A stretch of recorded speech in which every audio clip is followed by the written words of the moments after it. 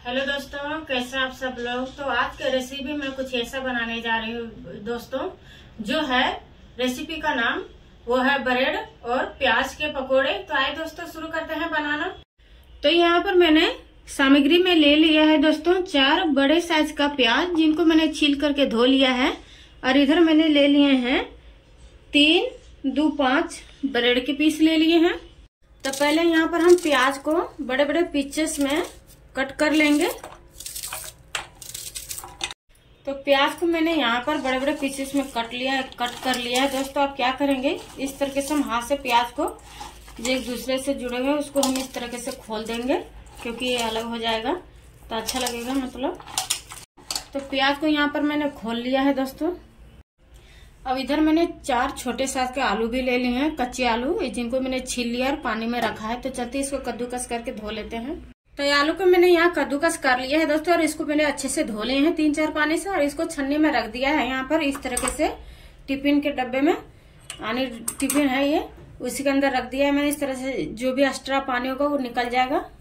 अब इधर मैंने एक थाली में पानी ले लिया है। अब हम क्या करेंगे, ये जो हम बरेड उठाएँगे एक एक पीस, और इसको पानी में इस तरह से दोनों तरफ़ से इसको हम डिप करेंगे, और हम इस तरह से मुट्ठी बाँध करके इसका एक्स्ट्रा पानी हम निकाल लेंगे और इधर मैंने साथ में प्याज काट करके रखे उसमें हम डालते जाएँगे। तो यहाँ पर मैंने ब्रेड डाल दिया है दोस्तों, ये देखिए। अब यहाँ पर हम डालेंगे ये आलू, जो हमने घिस करके और अच्छे से धो करके रखा है। इसका पानी निकल गया है तो अब हम इसमें डाल देते हैं। अब हम इसमें डाल देते हैं, यहाँ पर मैंने दो हरी मिर्च लिया था। इसको डाल देते हैं, बारीक कट कर लिया था मैंने। अब यहाँ पर मैंने फ्रेश हरा धनिया ले लिया है। अब अभी काट के यहाँ पर तुरंत हम डाल देंगे। तो यहाँ पर मैंने फ्रेश हरा धनिया भी कट करके डाल दिया है। अब यहाँ पर मैंने ले लिया है मसाला।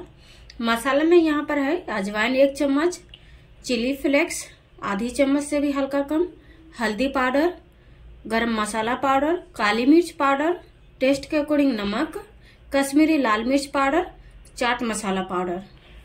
अब इसको हम सभी मसाला को इसमें हम डाल देते हैं। अब मसाला यहाँ पर कम ज़्यादा, आप अपने टेस्ट के अकॉर्डिंग आप यहाँ पर ले सकते हैं।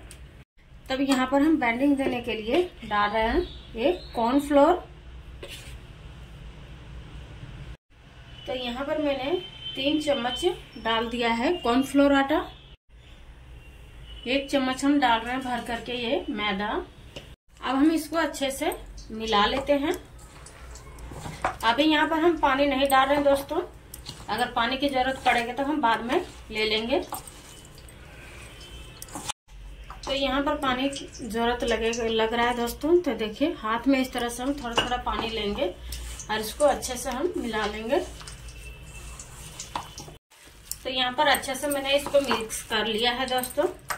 और इधर मैंने लोहे की कढ़ाई में तेल डाल दिया था गर्म होने के लिए। तो ये गर्म हो रहे हैं।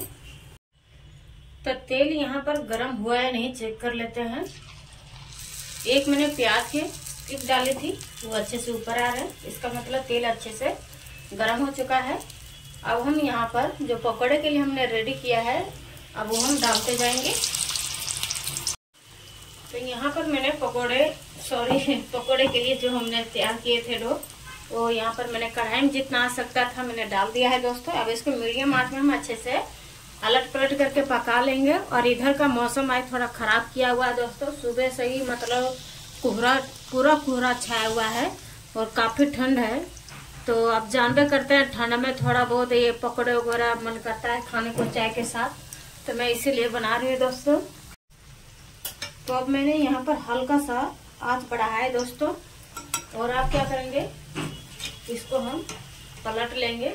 जो पहले डाले थे फिशेस वो देखिए हल्का सा सेक गया है तो हम इसको अब पलट देंगे।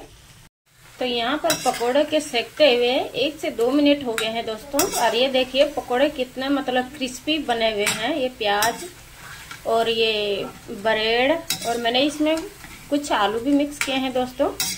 तो ये पकोड़ा बहुत अच्छा लगता है खाने में। और आपको पता है दोस्तों, क्योंकि ठंड है और इस तरह से मौसम बना देता है तो ये सब तो मन करवे करता है खाने को। तो दोस्तों, आप भी बनाइए और टेस्ट करके बताइए इस तरीके के पकौड़ा आपको कैसे लगते हो प्यारा सा एक कमेंट ज़रूर कर दीजिएगा। मेरी रेसिपी आपको अगर अच्छी लगती हो दोस्तों, वो भी कमेंट में कीजिएगा कि मेरी रेसिपी मेरे बनाने का तरीका आपको कैसा लगता है दोस्तों। तो यहाँ पर मैंने थाली में रोटी वाला पेपर जो हम रोटी डालते हैं, वो पेपर मैंने ले लिया यहाँ पर। तो हम पकोड़े को छान करके इस तरह से निकाल लेंगे इसमें। ये देखिए। तो ये हमारा ये पहला पकोड़ा जो हमने डाले थे, वो बन करके रेडी हो गया। आप देख पा रहे हैं इसके ऊपर से कितना मतलब अच्छा दिखने में लग रहा है, उतना ही अच्छा ये खाने में लगेगा। तो पूरा एकदम क्रिस्पी बना हुआ है। अब चलते हैं सेम इसी तरह से हमें बाकी बना करके रेडी कर लेते हैं दोस्तों। तो ये देखिए सेम हम उसी तरह से बना लेंगे। तो मेरी ये रेसिपी बन करके रेडी हो गया है दोस्तों, ये देखिए। तो ये देखिए दोस्तों, मैंने अलग प्लेट में पकोड़े निकाल लिए हैं। आपको मैं एक पकोड़ा तोड़ के दिखाती हूँ कि अंदर से जितना ये ऊपर से क्रिस्पी उतना ये अंदर से क्रिस्पी है। तो ये देखिए, इस तरह से चटनी में लगा करके इसको हम बहुत अच्छा बना हुआ दोस्तों। तो दोस्तों, मेरी ये रेसिपी बन करके रेडी हो गया है ब्रेड और प्याज के पकौड़े। तो मेरी ये रेसिपी आपको कैसी लगी कमेंट में ज़रूर बताना। लाइक एंड सब्सक्राइब कर देना, ज़्यादा से ज़्यादा शेयर कर देना। थैंक यू दोस्तों।